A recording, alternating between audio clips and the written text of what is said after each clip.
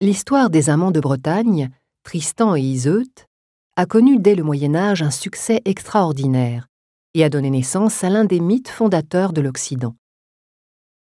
Histoire d'amour et de mort, elle exalte la passion contrariée de deux jeunes gens qui, ne pouvant s'aimer de leur vivant, se rejoignent dans la mort. Ce récit nous est parvenu de façon fragmentaire, à travers des textes incomplets ou mutilés, composés au XIIe et XIIIe siècle à partir d'une tradition orale celtique et qu'il s'agit d'assembler pour restituer l'ensemble de l'histoire. La sœur de Marc, le roi de Cornouailles, meurt en mettant au monde Tristan. L'orphelin est élevé à la cour du roi, son oncle. Adolescent, il s'illustre en débarrassant le royaume du géant irlandais Morolt, qui chaque année exigeait un tribut de jeunes gens. Blessé, Tristan est soigné par Iseut, la fille du roi d'Irlande et sœur du Morolt. Entre-temps, le roi Marc, pressé de se marier par ses barons, choisit d'épouser la jeune fille dont un cheveu d'or lui a été apporté par une hirondelle.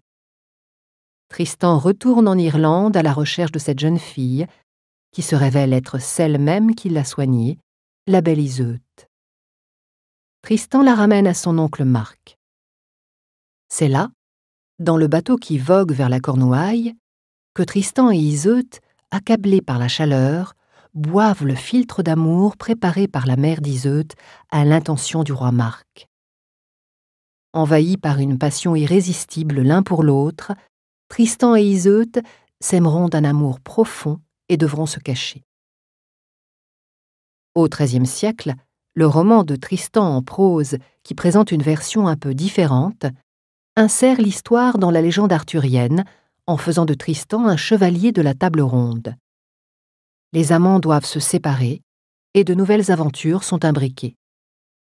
D'autres chevaliers aiment alors Iseut.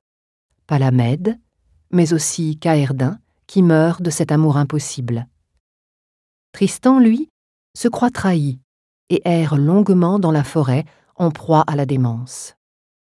Poursuivi par la haine du roi Marc, il se réfugie à la cour du roi Arthur, où il mène une vie de chevalier errant, réalisant les plus grands exploits à l'égal de Lancelot. Les amants séparés s'écrivent des lettres et des laits d'amour qui donnent au roman une tonalité lyrique.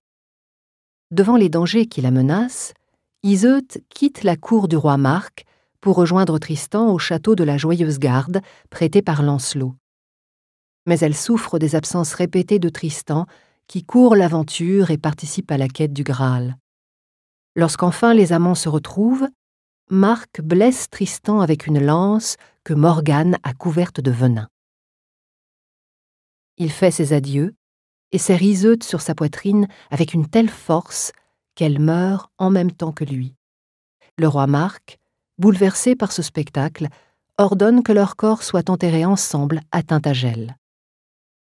Cette histoire, réécrite et traduite dans toute l'Europe médiévale, a fasciné artistes et savants qui ont restitué la légende et fait vivre le mythe encore aujourd'hui.